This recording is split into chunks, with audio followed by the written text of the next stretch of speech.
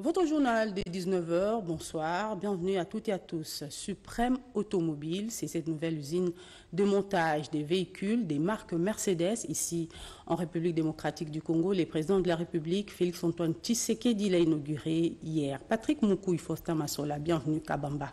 Reportage. Une fois montées, ces pièces détachées vont donner forme à un bus de marque Mercedes capable d'assurer le transport en commun. Il fallait attendre trois décennies pour voir la République démocratique du Congo ouvrir de nouveau une usine d'assemblage de véhicules sur son territoire. Pour inaugurer cette nouvelle unité de production, c'est l'artisan de la bonne gouvernance et de l'assainissement continu du milieu des affaires, le président Félix Antoine Tshisekedi, qui effectue le déplacement de la deuxième rue Limété.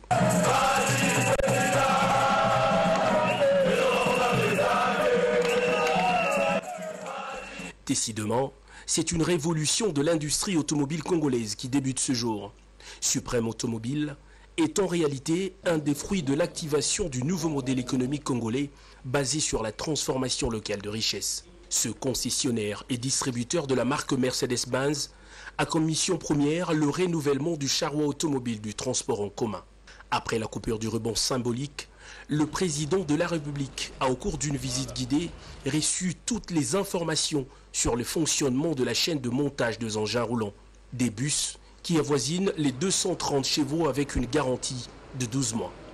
Suprême Automobile a ouvert son marché à toutes les commandes, locales, nationales comme étrangères, mais la société Transco en tirera des grands avantages car les entretiens et réparations de ces bus seront effectués sur place et sans frais durant la période d'essai.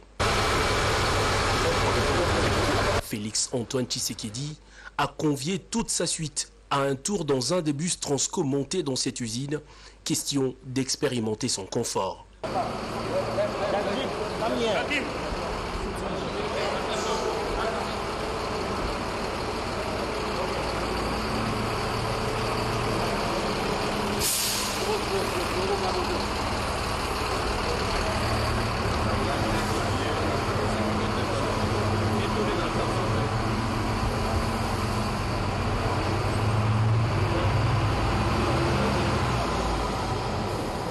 Il n'était donc pas impossible de voir en circulation un véhicule avec la mention fabriqué en RDC. Il suffisait juste d'une volonté politique. La volonté est faite. Et le chef de l'État vient de signer quelques ordonnances que vous suivrez aux environs des 22 heures sur la RTNC. Le Premier ministre Samalou Kondé est arrivé à Lubumbashi pour des travaux de construction dans le cadre du programme de développement local des 145 territoires de la République des détails avec Pati Tondouango. Le premier ministre et chef du gouvernement séjourne à Lubumbashi, Jean-Michel Samaloukonde Kienge, et en mission de suivi des différents travaux de construction des infrastructures de base inclus dans le programme de développement des 145 territoires de la République démocratique du Congo, projet phare du président Félix-Antoine Tshisekedi Chilombo notamment le lancement des travaux de réhabilitation de la RN5 partant de Kasomeno jusqu'à Puerto. Aussitôt arrivé à Lubumbashi, le chef du gouvernement a dépêché son conseiller spécial Romulus Kisambe à Kilwa, dans les territoires de Puerto, pour apporter un message d'espoir à la population et faire le suivi des travaux. C'est sur instruction de son Excellence, Monsieur le Premier ministre, Jean-Michel euh, Samal Konde Kenge, qui est en ce jour euh, dans le Haut-Katanga et qui sera demain dans la cité de Kasenga, de pouvoir me déployer ici, euh, dans le territoire de Puerto, à Kiloa, dans le secteur Muero, pour pouvoir relayer le message qu'il va donner à la population de Kasenga, ne pouvant pas justement se déployer sur les deux endroits. Et c'est essentiellement ce petit suivi qu'il fait sur euh, les questions de la remise en état de la RN 5, partant de Kasomeno jusqu'à Puerto, et puis euh, continuer dans le Tanganyika et dans les Sud Kivu. Mais aussi ce projet phare de son Excellence, Monsieur le Président de la République, chef de l'État, son Excellence euh, Félix Antoine Tshisekedi Chilombo, qui a initié un projet phare pour euh, les développements à la base, ce projet qu'on appelle PDL 145 territoires, faire euh, un état des lieux effectuer une mission d'inspection, voir un peu si aussi dans le territoire de Puerto, le projet ont la même allure d'évolution comme partout ailleurs où il est lui-même en train d'effectuer des itinérances. Les instructions ont été données, les avertissements ont été donnés pour que les travaux s'exécutent de manière à honorer l'image du président de la République qui a lui-même initié ce projet. C'est un accueil délirant que l'émissaire du chef de l'exécutif national a reçu de la part de la population et des membres des partis politiques de l'Union sacrée. Romulus Kissambe à l'occasion eu une réunion avec les membres du comité territorial de sécurité avant de donner quelques instructions aux prestataires quant à la réalisation à temps voulu des travaux de développement à la base des 55 territoires de la République démocratique du Congo. Le conseiller spécial du Premier ministre Jean-Michel Samaloukonde Kienge a par ailleurs posé un geste de générosité en faveur des femmes commerçantes des kilos. Un colloque scientifique s'ouvre demain à l'université de Lubumbashi, Unilou. Plusieurs orateurs y prendront part, notamment les directeurs des cabinets adjoints du chef de l'État, Nicole Tumba Boatia. Le colloque sera axé sur la gouvernance des provinces. Reportage en RDC est au cœur des préoccupations des orateurs en provenance des divers horizons pour réfléchir sur cette problématique et proposer des solutions idoines au cours du colloque international organisé par l'Université de Lubumbashi le 12 et le 13 juin 2023. Parmi les premiers à atterrir à Lubumbashi ce samedi 10 juin, la professeure Nicole Tumba Boacha, d'Irkaba du chef de l'État, le professeur Martin Mulumba Chitoku, conseiller principal du chef de l'État en charge des questions juridiques et administratives, le professeur Toussaint Chilombo Sand, ministre honoraire de la communication, le professeur Jean-Louis Essambo Kangashi, juge président au Conseil d'État, tous enseignants à l'université de Kinshasa accueilli par le recteur de l'université de Lombashi,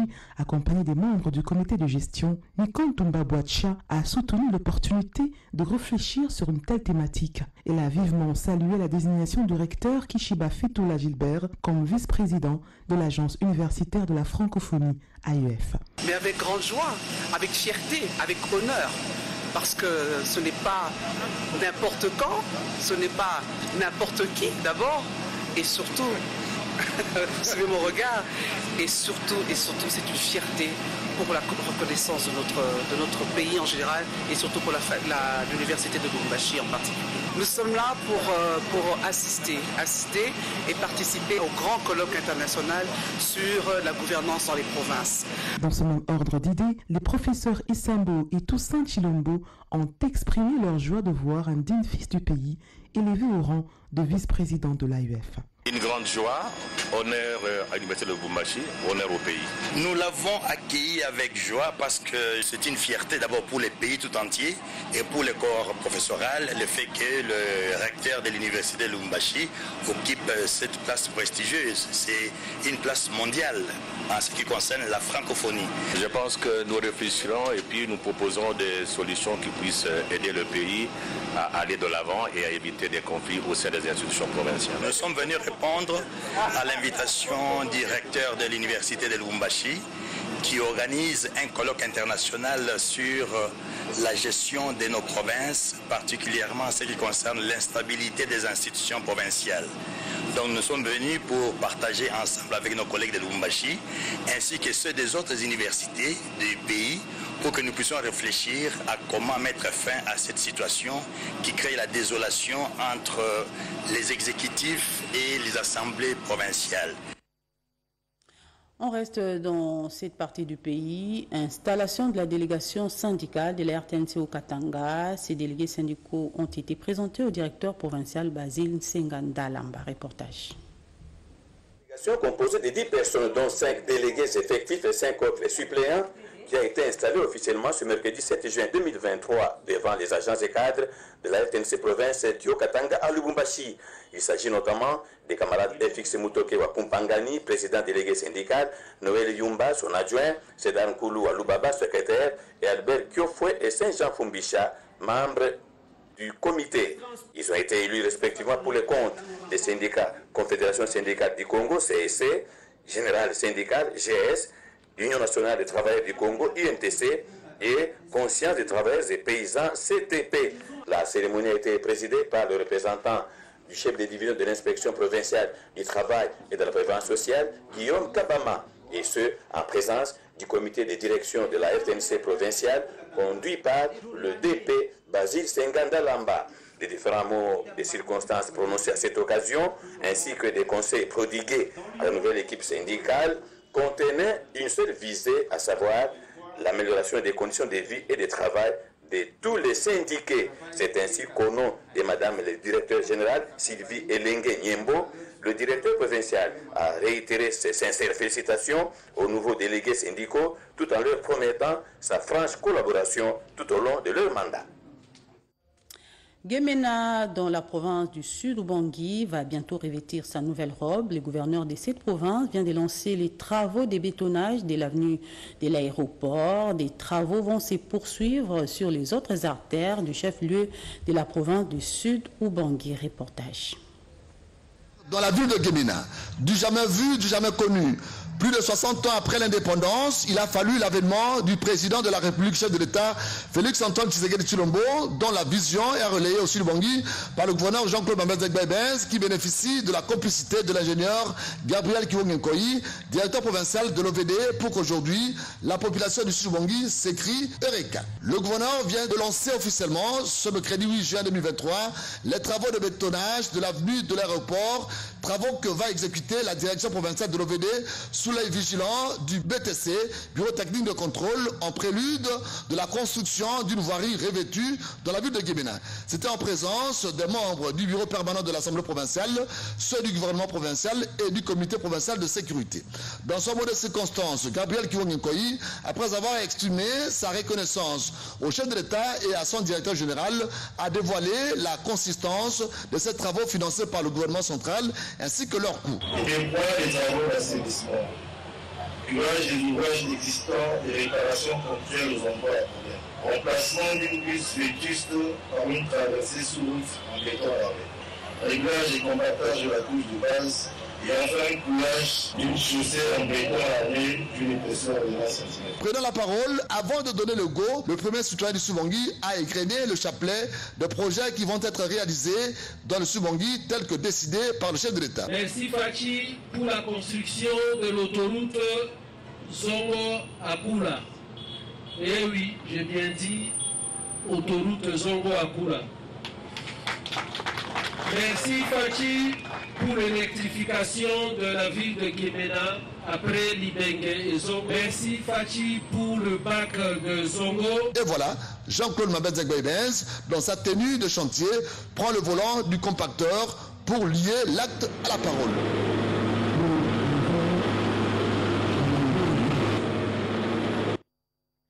Les bouteilles en plastique, ordures ménagères et autres déchets bloquent les caniveaux et polluent les rivières de la ville de Kinshasa. Les experts environnementaux recommandent plutôt des curages réguliers pour un environnement sain. Natacha Mombanda. Célébrer le 5 juin de chaque année, la journée mondiale de l'environnement est placée cette année 2023 sous le thème Quelle solution à la pollution plastique Un thème qui a tout son sens dans un monde où le plastique est omniprésent. À Kinshasa, la capitale de la République démocratique du Congo, les eaux des rivières traversant différentes communes coulent difficilement pour se déverser dans le fleuve Congo à cause des milliers de bouteilles en plastique, des emballages et autres ordures ménagères jetées volontairement par la population quinoise une situation accentuée par le manque d'équirage. C'est le cas de la rivière Makelele qui traverse plusieurs communes. Au niveau de chaque commune, quand elle est bouchée, il y a des inondations sur la voie publique lors des pluies. C'est ce qui arrive sur l'avenue Pharmacie à Kitambo, l'avenue Victoire à Kalamou et sur la première rue à Limete. la rivière est réservée pour faire passer des eaux l'État doit commencer à faire le curage. Qui a initié, certes, ça existe déjà, les activités des salons. L'État doit voter des lois. La population doit éviter à jeter les ordures dans nos rivières. Comment améliorer la gestion des plastiques en République démocratique du Congo? Pour M. Jarine Bouela, il faut une bonne politique. Il n'y a pas une politique de la gestion des déchets. Il n'y en a pas. La première solution, c'est l'application des textes réglementaires, des, initiatives pour essayer de recycler les, les bouteilles à plastique. La population congolaise doit s'approprier la notion de respect de l'environnement. Entre-temps, tous les déchets plastiques devraient être recyclés car chaque bouteille jetée sur la route se retrouve dans le cours d'eau et dans notre environnement immédiat. Justement, pour assainir particulièrement la commune de Kalamou, le bourgmestre de cette commune, appuyé par Cédric Nguindou, a remis des matériels pour l'exécution des travaux Chimendundu. Le bourgmestre de la commune de Kalamou, Samuel Bagnou, vient de lancer la série d'activités d'assainissement horticulturel et d'embellissement, non seulement du district de la Funa, mais la ville de Kinshasa tout entière. Cette série d'activités financée totalement par Cédric Nguindou, le conseiller à l'environnement et développement durable, vise à lutter contre l'insalubrité et à donner une nouvelle image pour l'ensemble des communes de Kinshasa. Et le choix de la commune de Kalamou se justifie par le fait que cette dernière est située au centre de la ville-province Kinshasa. Avec certains mouvements associatifs, à la commune de, de précisément à Matelieu, et ainsi de suite, nous allons nous étendre pour couvrir tout le district. Chaque samedi, nous devons réinstaurer le travail manuel, le salon comme on l'appelle, pour que nos villes, une fois de plus, appelé Kinshasa Label. Très satisfait de ces gestes, le bourgmestre de la commune de Kalamou promet toutes sortes de bénédictions à celui qui appelle affectueusement fils maison. Par ces gestes lancés par ses conseillers du ministère de l'Environnement et Développement durable, le bourgmestre de Kalamou invite les autres à emboîter le pas. Développement des zones économiques spéciales en République démocratique du Congo, l'objectif est d'attirer plus d'investissements et capitaux. L'espace des Maluku, en pleine construction, a reçu la visite de plusieurs investisseurs. Yvette Makonti, ma reportage.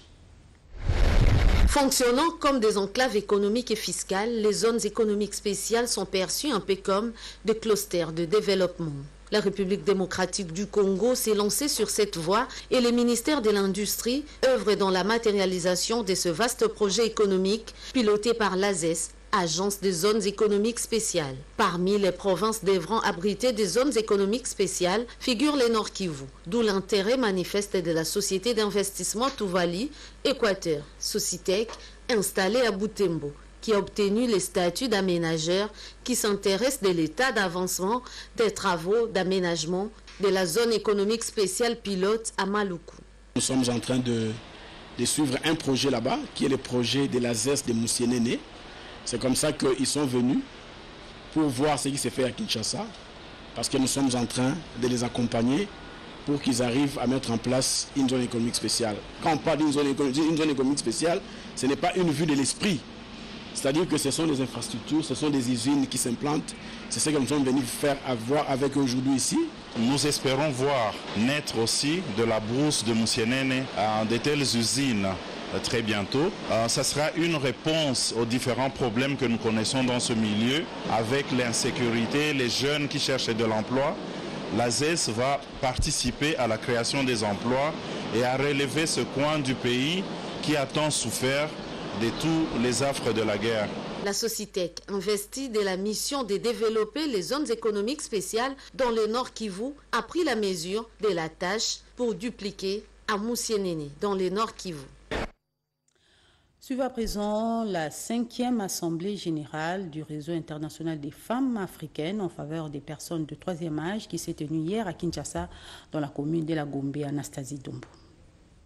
C'est une assemblée générale annuelle pour évaluer les voies et moyens et trouver des stratégies en vue de préparer la conférence internationale du réseau international francophone des aînés, RIFA, qui se tiendra au mois de mai 2024 en République démocratique du Congo. Nous, au niveau du Congo, RIFA International nous a désignés pour présenter notre situation en l'année 2024. Nous demandons à tous nos partenaires de s'impliquer dans l'organisation de cette conférence internationale qui va intéresser beaucoup de pays en Afrique et nous allons recevoir beaucoup de délégations étrangères. Et l'objectif final c'est de pouvoir étudier la situation des personnes de troisième âge, l'évaluer un peu, afin de pouvoir présenter un plaidoyer idoine aux autorités national pour la promotion des conditions de vie des personnes de troisième âge. Du fait de déclin progressif de leur capacité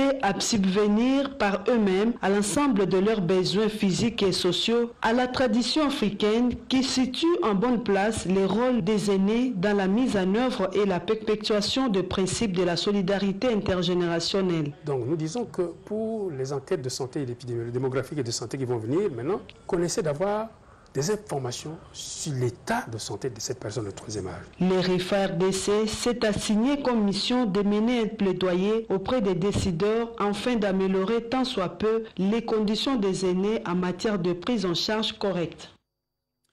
Justice, audience publique en matière de flagrance hors normes à la Cour d'appel de Kinshasa. À la barre, un magistrat de la Cour d'appel du Congo central accusé de corruption. Commentaire Yvette Makontima.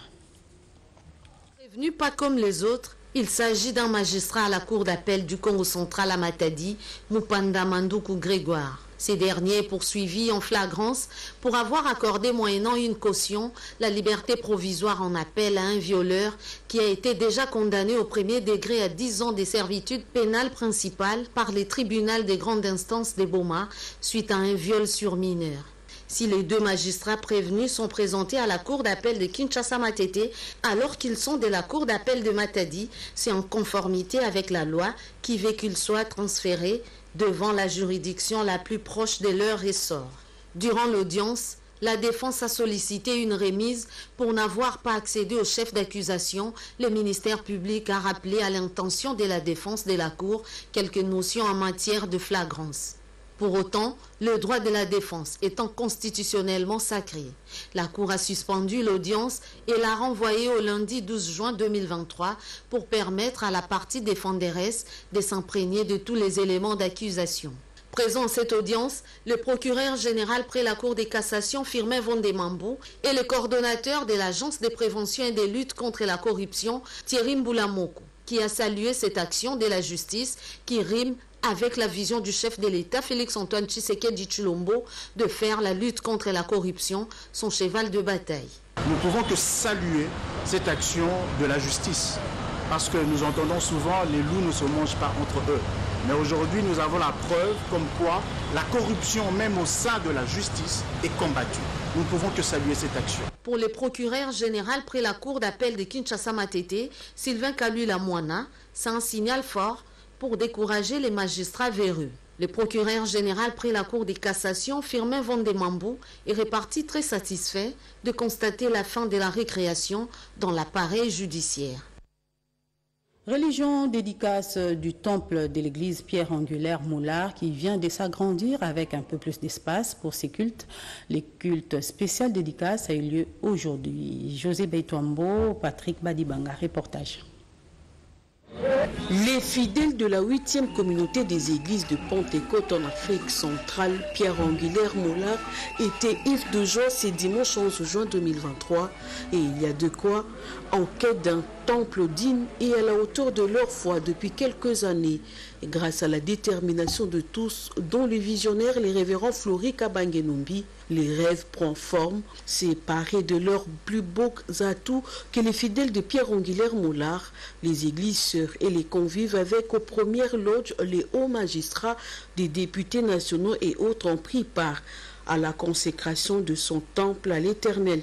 La prédication a marqué tous les esprits bâtis autour de la thématique principale, le respect du temple, et soutenu par les extraits de deux chroniques, 7 versets 1 à 2 et Matthieu 21, 12 à 13. Elle a permis aux représentants légaux de l'Église du Christ au Congo de marteler sur l'importance d'un temple. Après un moment intense de prière, d'adoration et de communion véritable avec Dieu, l'homme des dieux établi sur cette mission n'a pas manqué d'adresser des mots de remerciement à tous ceux qui ont rendu ceci possible. Il y a sept ans, cette église que vous voyez là ouvrait ses portes aux fidèles. Nous avons constaté au fil du temps que l'espace devenait exigu. Ainsi que nous avons résolu d'agir comme les fils des prophètes qui se trouvaient devant Élysée. Ils avaient constaté comme nous que l'espace où ils étaient assis devant le prophète devenait exigu. Ils ont demandé l'autorisation au prophète pour se rendre au Jourdain, là où chacun pouvait prendre une poutre. C'est ce que nous avons vécu ici. Les temples dont les travaux ont duré presque une année a vu sa capacité d'accueil s'agrandir. Et je rappelle que le chef de l'État vient de signer quelques ordonnances que vous suivrez aux environs de 22 heures sur la RTNC. Ce journal est terminé. Merci de votre attention. Bonsoir.